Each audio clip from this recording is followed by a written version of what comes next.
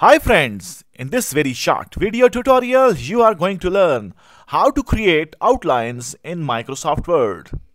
You will learn how to enable or how to use the option of writing outlines in Microsoft Word.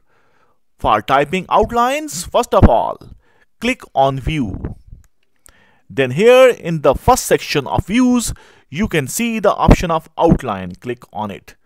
Now, first of all, you will you can write the topic name.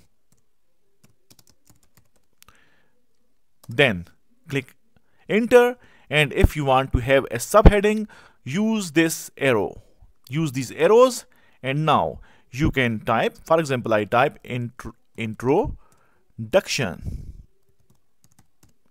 Then again, if you want a subheading of this heading, you will again click on arrow and you will be able to insert a subheading.